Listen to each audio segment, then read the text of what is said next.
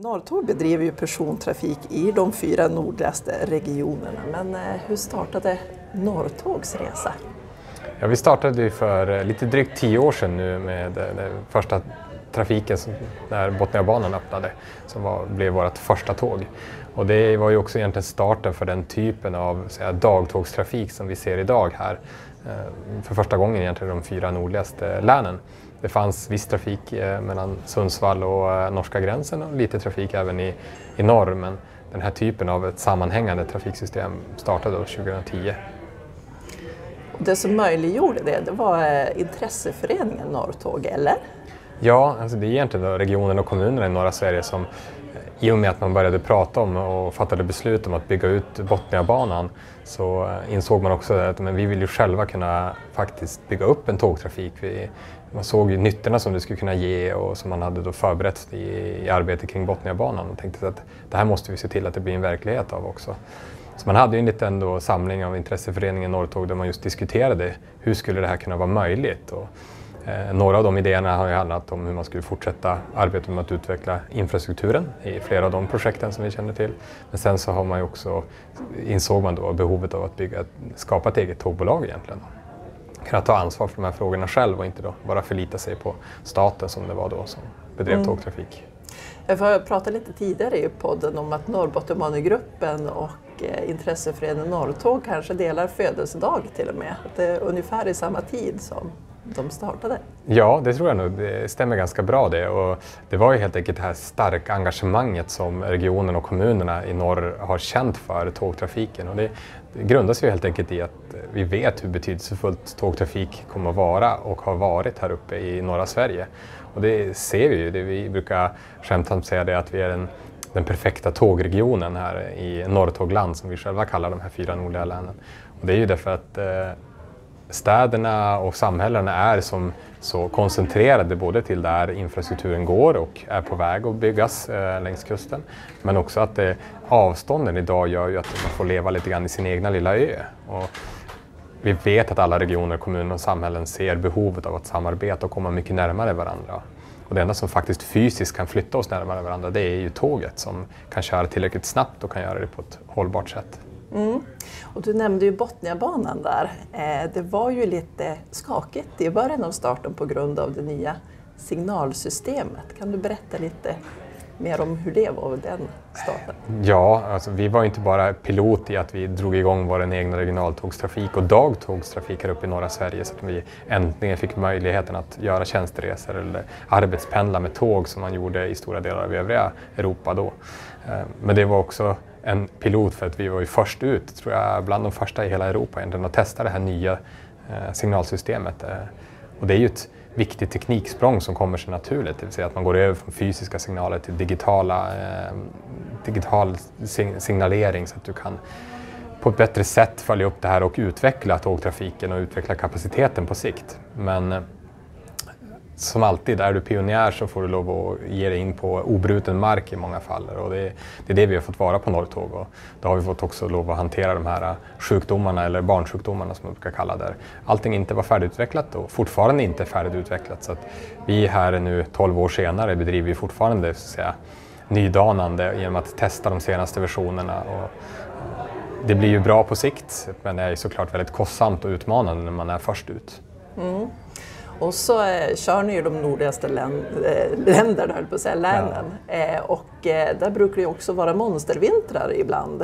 Eh, och det har man ju hört kan ställa till det i trafikeringen. Ja, absolut. Eh, och det man mer och mer börjar se nu är också hur klimatförändringarna generellt sett börjar påverka infrastrukturen som helhet och samhället som helhet. Så det är nog inte bara så att vi har varit dåliga på att vara förberedda på eh, alltså, extrema eh, väder eller ja, kraftiga väderomslag utan vi måste också nu lite sent om sidor upptäcka att just det, vi kanske behöver börja förbereda oss och vara robusta och klara sådana här saker även om det inte är det som är den normala vardagen. Så vi ser ju det nu med översvämningar, vi ser det med bränder, vi ser det med stormar, med nedfallande träd. Så det är egentligen inte bara vintern som är utmaningen nu utan det är klimatet skulle jag säga och vädret som på grund av klimatförändringarna nu börjar bli utmanande för all infrastruktur. Det som har varit särskilt som man pratar om de här vintrarna är ju att det, eh, det blir ska jag säga, oftast utmanande när det blir väderomslag. Det ställer höga krav på tekniken, men inte bara tekniken utan det ställer också väldigt höga krav på infrastrukturen. Och som jag lite försökte inleda med där så har vi nog inte riktigt varit fullt ut beredda på det. En sån sak är exempel att eh, länge har man förväntat sig och tyckt att det är fordonen som färdas, alltså tågen själva som ska till stor del ploga, eh, ploga spåren normalt och sen bara vid större snömängder och lite mer mindre jämna mellanrum så eh, kan man åka dit med särskilda plogfordon. Så det har funnits väldigt få plogfordon i, i, eh, och snöröjningsfordon i norra Sverige. Även om vi har haft vintrar under väldigt, väldigt lång tid här uppe. Just det. Så, till skillnad från vägen så brukar vi säga att det är ingen som förväntar sig idag att din bil eller lastbilen ska ploga vägen. Utan det, förväntar, det måste ju vara plogat, annars funkar det inte att köra en normal bil där. Mm. Och lite samma situation har, har, vi hamnat i här ofta, att man har som tänkt sig att ja, ja, men det, tåget ska väl klara det där. Så ja, tåget klarar ju väldigt, väldigt mycket. Det klarar ner till minus 40 grader utan problem. Det klarar väldigt stora mängder snö eh, på fordonet, men, men det finns ju också en gräns för det. Och det är det som oftast har hänt de här vintrarna, att den där gränsen har passerats och man har inte klarat av egentligen att, att hantera stora snömängder eller snabba väderomslag. Eh, och det har, det har slitit precis som du skulle slitit på din bil ifall du är tvungen att köra på en oplogad väg så ja, då är det saker som till slut går sönder eller slits hårdare än vanligt. Och så finns ju förväntningen att tåget ska komma i tid också. Ja, verkligen. Ja, trots utmaningarna. Uh, och vi, det, det, vi har sett är ju det att vi har blivit väldigt, väldigt mycket bättre och det vi har lärt oss egentligen är ju inte att fordonen från början inte var förberedda att hantera det här utan uh, oftast har det handlat om hur vi, hur vi hanterar det. Så det vi har lärt oss är ju hur, hur bygger vi tågen så att de är snabba att, eh, att avvisa? Hur bygger vi dem så att de är snabba att eh, byta trasiga delar som går sönder vid en älgkrock till exempel? Eh, och allt det här har ju lärt oss och gjort oss att vi idag är väldigt mycket starkare. Så även nu vintern här eh, 22-23 var ganska tuff. Men det påverkade ju absolut inte trafiken på samma sätt som det gjorde 2017-2018 när vi hade den förra riktigt tuffa vintern så att säga. Så eh, jag skulle säga att vi har kommit väldigt långt och detsamma gäller det här med om tågen är punktliga eller inte. Nu ligger vi ju på, alltså, normalt sett så säger vi det att 9 av 10 tåg kommer, kommer inom fem minuter och eh, mer än så på de, de sträckor där vi har tätare trafik eller mer arbetspendling där man eh, ligger på ännu högre eh, andelar. Och det viktigaste är också att eh, mer än 9 av 10, ungefär 95 av 100 tåg går också som tåg. Mm. Alltså, Eh, så att du kommer att komma fram. Du kommer mest troligtvis att komma fram i god tid. Och är du, klart, är du arbetspendlare som ska åka och ta dig till skiftet, då vet du att det är någon som står och väntar på dig på, på sjukhuset som också vill gå hem. Så då blir de där fem, sex minuterna, om du råkar då bli sex minuter sen så, så kan det bli jobbigt för den, för då måste ju den vänta och kanske nästan missa sin resa hem. Eh, Medan det för de som reser i tre och en halv, fyra timmar kanske är viktigare att du faktiskt vet att du kommer fram och det gör ingenting om det en gång blev åtta minuter sent för du var tvungen att vänta på någon eh, på en station så att alla skulle hinna med tåget. Så trafiken går ju väldigt mycket bättre än vad ryktet och upplevelsen är. Ja men verkligen. Eh, och man märker ju då på en effekt av det är ju att fler reser. För det har ju varit resande rekord nu för er under 2023. Ja, vi har haft en jättestark inledning och det roligaste är ju att se att vi hade en väldigt, väldigt stark utveckling och har haft det i hela Norrtåg och egentligen i all regionaltågstrafik i hela Sverige. Så det är inte bara att vi har gjort någonting bra utan det finns ett jättestort sug efter att resa med tåg och det är väldigt många som väljer det framför andra alternativ.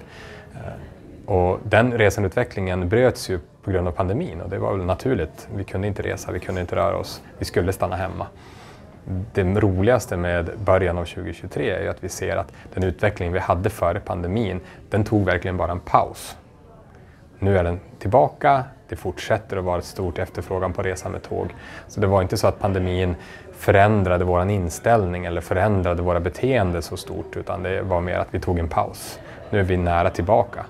Så även om vi jobbar på lite andra sätt, vi kanske inte jobbar varje dag på kontoret och sådär, så reser vi fortfarande. Behovet av att röra sig finns fortfarande kvar och visar sig vara väldigt, väldigt stort. Så jag tror att vi kommer att se en fortsatt kraftig resandeökning här kommande år.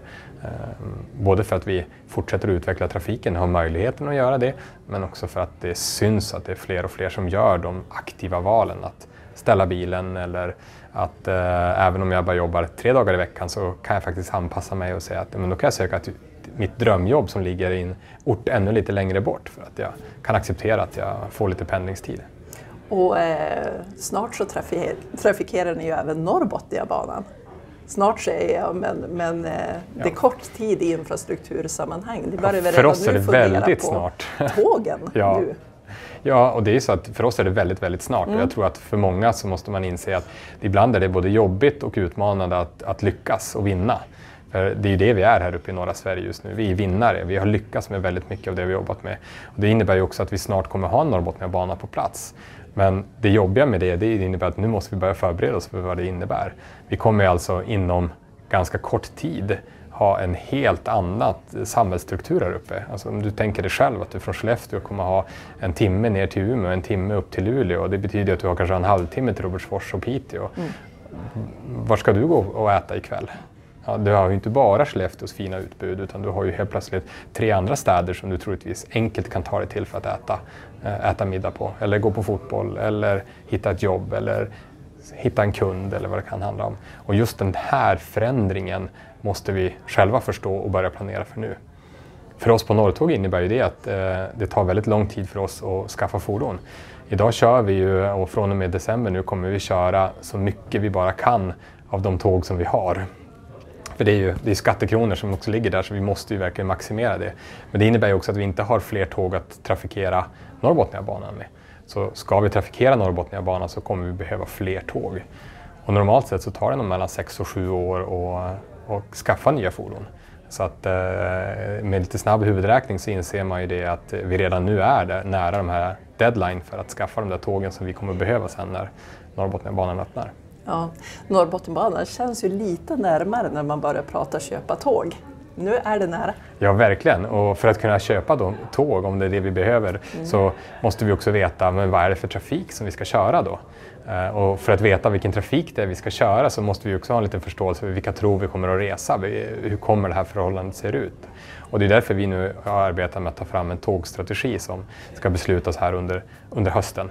Och det är just för att kunna beskriva det här vad, vad, kommer att hända nu? Vad innebär alla de här stora investeringarna? Vad innebär de förändringarna i, i samhällsstrukturen när vi helt plötsligt får en helt annan tillgänglighet? Och vad innebär det då för förväntan på oss som Norrtåg? När kommer du vilja att ditt tåg ska gå? Eh, hur ofta ska det gå? I vilka riktningar? I, eh, i vilken frekvens? Vilken typ av tåg ska du sitta på? Ska du kunna sitta bekvämt för att åka två, tre timmar ner till Sundsvall eller ska du få plats många och, och, även få plats med din cykel för att du ska åka till ditt jobb eh, och vara där senast klockan åtta på morgonen för att ni har fasta kontorstider. Så att, eh, det är mycket som måste hända här på kort tid. Ja, men du den där tågstrategin, den blir spännande att dyka in i sen när den är klar. Men eh, tack så mycket för den här pratstunden. Det satte igång många tankar. Verkligen, och man måste ju som sagt känna att, att vi är verkligen på på gång nu. Det är nära. Så uh, nu kan man börja planera. Man kan börja drömma om uh, den där vardagen som är alltid lite, lite enklare än idag. Men man kan inte börja boka än? Inte riktigt än, men uh, vi kanske får... vi går ju att köpa biljetter via er just nu och har ju gått att göra det tidigare. Ja. Så att vi får bara säkerställa att de stoppas in sen i vårt biljettsystem när vi börjar närma oss. Det låter bra. Tack så mycket Joakim.